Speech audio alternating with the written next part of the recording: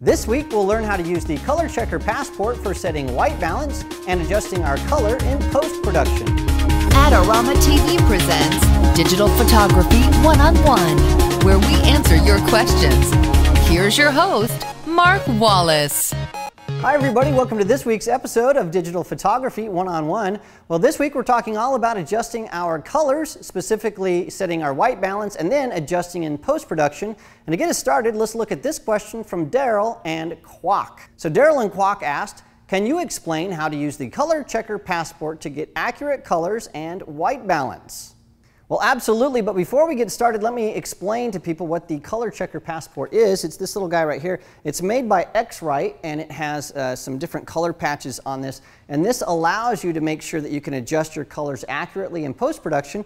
And also inside, it has a neutral gray card to make sure that your white balance is set accurately. Now, if you're new to white balance, make sure you watch episode 13 of Digital Photography One-on-One because we talk all about what white balance is and color temperature and all that kind of stuff.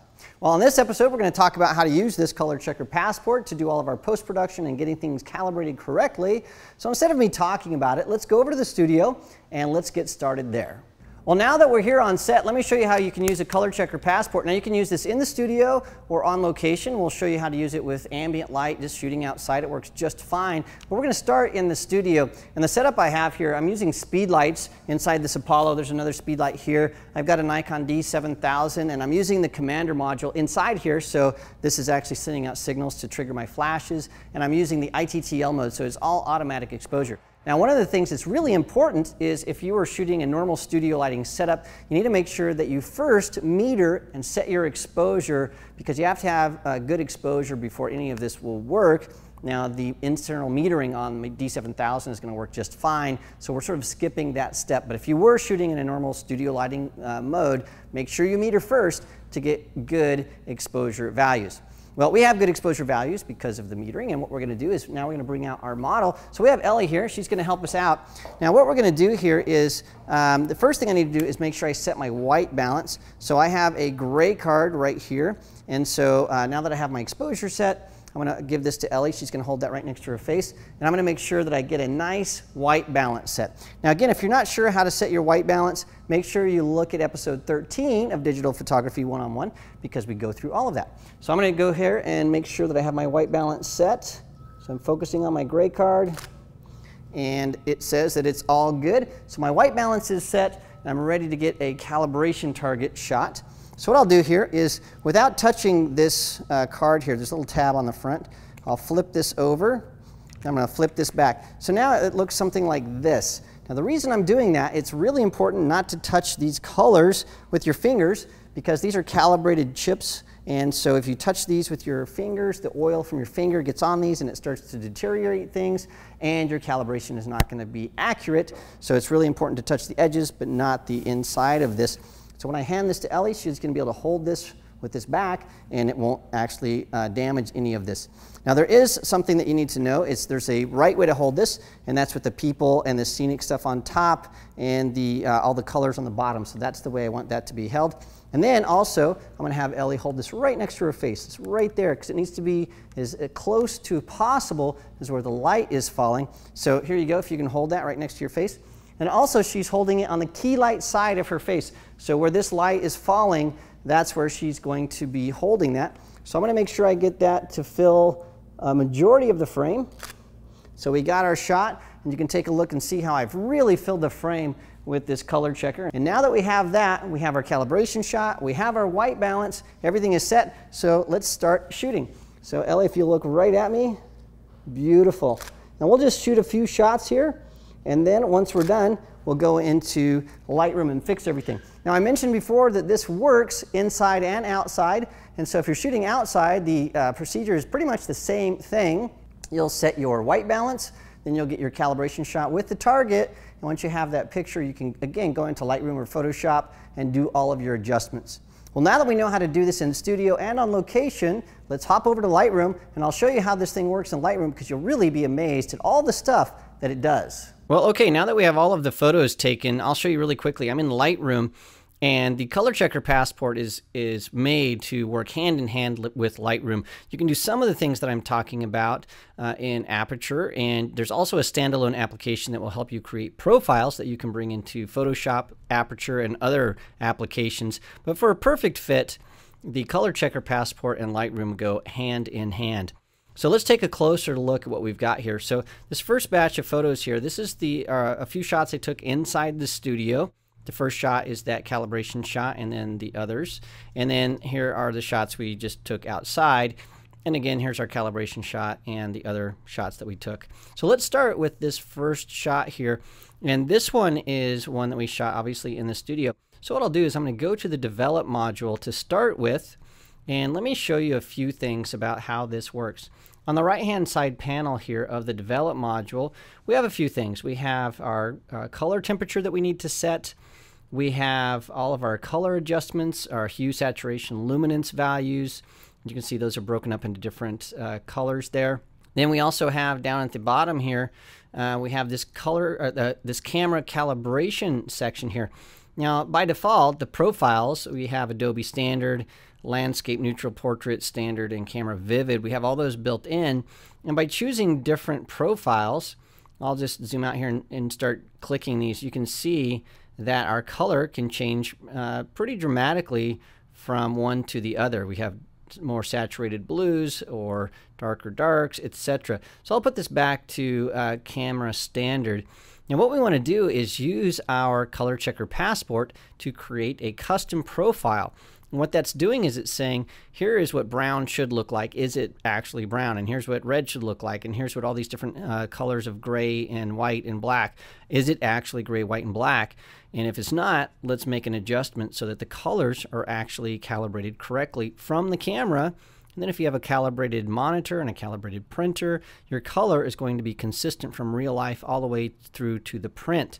So to make this custom profile, it's actually very easy. Now there is a standalone application that comes with the color checker that will allow you to do this.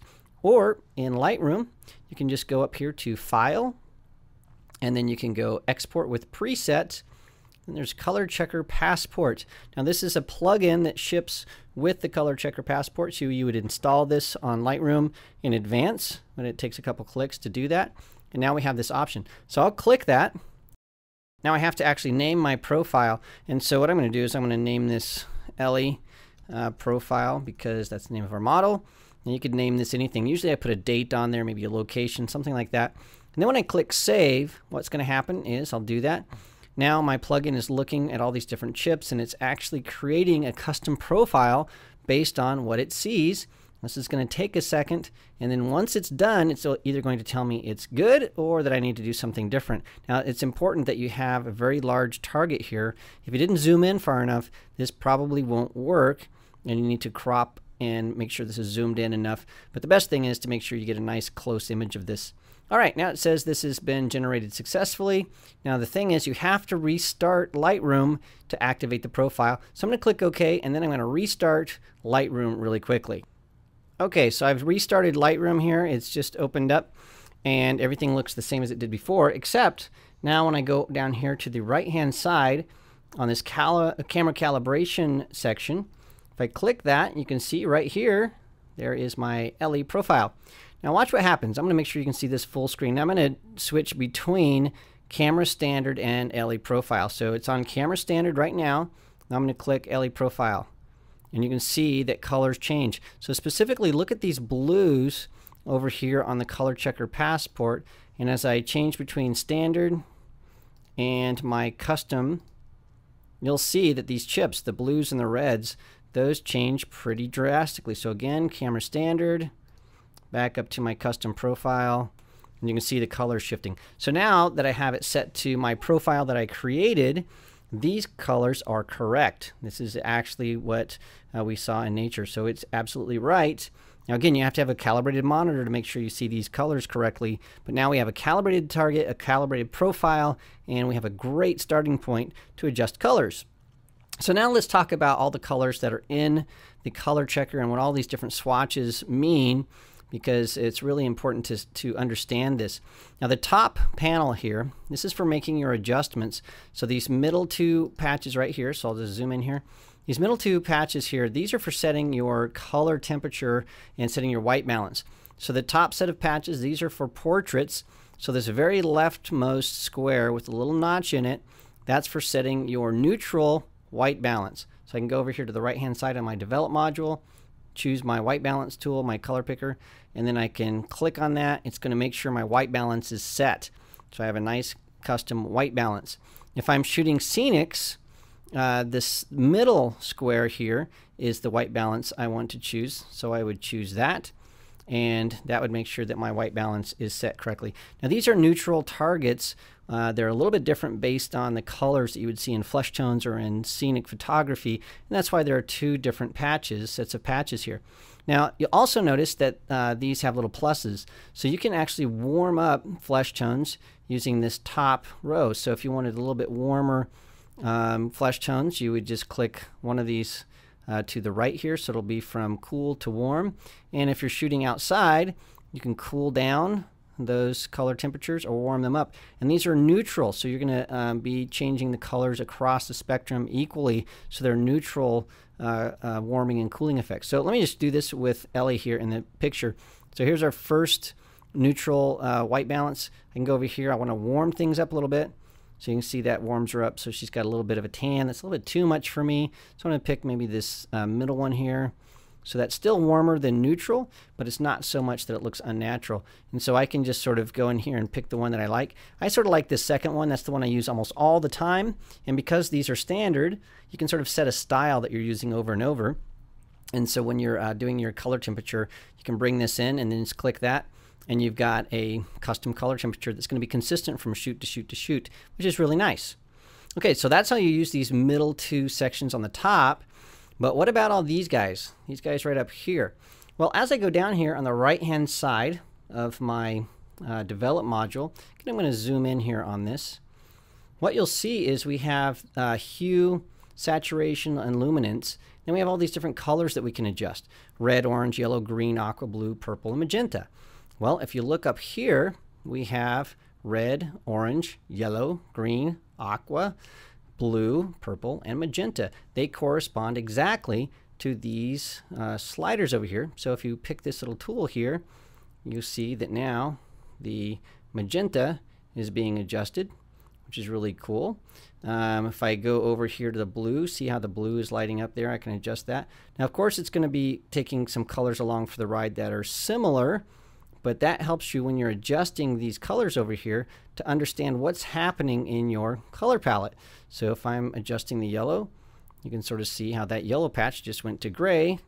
And this is really important because in this picture here, there isn't really any yellow. So if I was adjusting this yellow slider here in this photo, well, on my color checker, I could see the change. I can see that change here. I could see it down on my uh, calibration target. Even though I can't actually see the change anywhere in the photo, I can know that I'm making an adjustment that if I had some yellow in a different picture that I was going to batch process, well, I better be careful because I'm actually adjusting that yellow. So it helps you understand exactly what you're doing and what's happening in your photo, even if the photo colors that you're adjusting aren't in the natural photo. It's really, really nice. So you can either uh, click this button over here and then adjust your whatever color you want, orange in this instance or you can adjust them over here and see what the effect is on those patches. So that's just a nice tool there to help you understand what's happening in the hue, saturation, and luminance panel. Down here on this color calibration target, these aren't just random colors. They actually help us understand what's happening in the photo. So let me go through these step by step. This first two colors right here in the upper left-hand corner, these are flesh tone colors. So darker and lighter skin are represented right there. And so if those get out of whack, you know that your flesh tones are going to look a little wacky. And then next to that, we have blue and green. These are for scenic photography. So this is what a normal blue sky would look like. And this is normal what plants would look like. So plants and sky. We have those next to each other. The second uh, two, the last two, and the second row these are just common colors we'd see in a normal palette. And so this just helps us understand what's happening when we're adjusting colors to our blues and violets and purples and oranges and things like that. So that's what those are. This third row down here, we have our additive and subtractive colors. So we have RGB colors, so we have red, green, and blue. Then next to that, we have our CMYK colors. So we have cyan, magenta, yellow, and black. So we have those. So we have our two sets of primary colors right there in the third row. And then on the last row, we have some patches so we know from white to black if we have things that are overexposed or underexposed, if we're losing details in the shadows, midtones, or highlights, we have all those so we can actually adjust those. Now the neat thing is we can use all of these tools together. So we can go to the very top, we can get our color temperature set exactly how we want. So that's going to look really nice. If we want to change some of our uh, saturation or hues, we can do that here. See the effects on our color checker. We can also go in and start setting uh, some of our curves. So we can go to the tone curve here. And this is where we can turn on our clipping. So we can see if we have anything overexposed or underexposed by clicking these little triangles. Then we can start looking at the blacks, the darks, the mids and the whites here on the color checker, as well as the bottom here in uh, our color chips. So as we're going in here and adjusting things like the shadows, we can see if any of the absolute blacks are starting to clip. We can see that, yes, they are starting to clip. We pulled those shadows in too much. So we need to bring those out until that stops to clip. And also we can see if we do some things like maybe adjusting our exposure, if we're getting things. So you can see this lights up red saying, hey, you're losing detail at the brightest of the brights. It's way too much.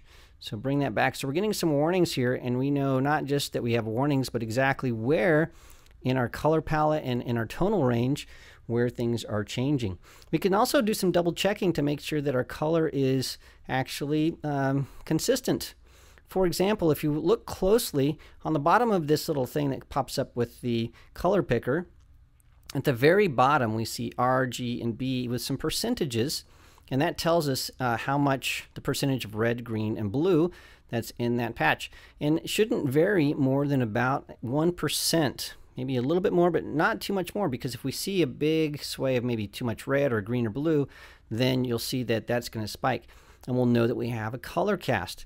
So I can go looking over all these different chips to see that's 89, 88, 88.8, really, really close. We're seeing that these are consistent colors, less than 1% uh, of any kind of problems. Now I could force this, so let's do this so we have this horrible color here. Now we can see that we've got clipping in this white, we've got issues there.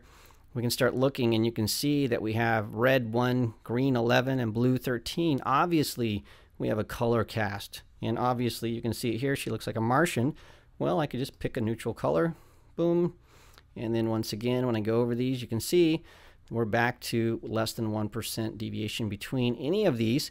And so that we know our color is consistent, it looks good, and we can start increasing or decreasing our color temperature and color cast in a way that's calibrated and looks good, and that we know it's going to be consistent.